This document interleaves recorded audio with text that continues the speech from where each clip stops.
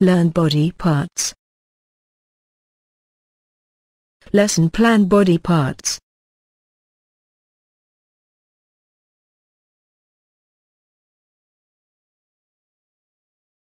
Introduction The human body is made up of many parts. Each and every part of the body has a different function. Today, we are going to learn some of our body parts. The class will begin with formal greetings or exercises. The teacher can introduce the lesson plan by telling stories or reciting rhymes related to body parts. There are many rhymes related to body parts such as 1. Head, shoulders knees and toes 2. Chubby cheeks 3. Ten little fingers. Presentation Once upon a time, there was a girl who was very beautiful and chubby in nature, her chins got dimpled and her lips were just like as red roses. She also had white teeth. Her hair was curly and eyes were blue. She looked like a princess. Did you notice the words like chins, lips, teeth, eyes and hair? Yes, these are parts of the body. Let's sing a song.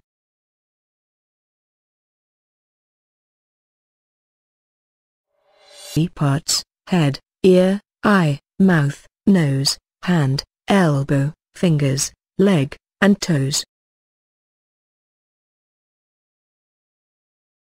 Head is a part of body. This is the upper part of the body that contain brain. This is an ear. We have two ears. We can hear with our ears. This is a nose. We have one nose. We can smell with our nose. This is chin. We have one chin. It is the lower part of our face. This is our mouth. We have one mouth and two lips. There are many teeth inside our mouth. We chew our food with the help of our teeth. This is an eye. We have two eyes. We can see objects with the help of our eyes. Note.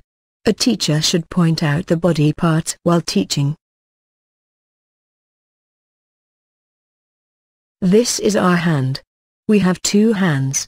We can write, eat or do many things with the help of our hands. This is our fingers. We have ten fingers. Let's count, this is an elbow. We have two elbows. This is a knee. We have two knees. This is our leg. We have two legs. We can walk and run with the help of our legs. This is our foot. We have two feet. Recapitulation The teacher can recap the body parts by asking questions. 1. Where is our head? 2. Where is our nose? 3. How many fingers do we have? 4. How many legs do we have? 5. What do we do with the help of our hands, legs, nose? 6. Where is our teeth? What is the color of the teeth? Application Practical Teaching of Body Parts, Charts of Body Parts, PowerPoint Presentation, Evaluation The teacher should evaluate the students by giving them worksheet to solve and by asking questions. Rhymes can be added to inculcate the different body parts. Match the following.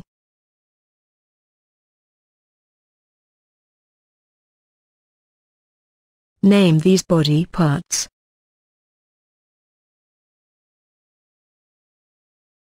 Thank you for watching.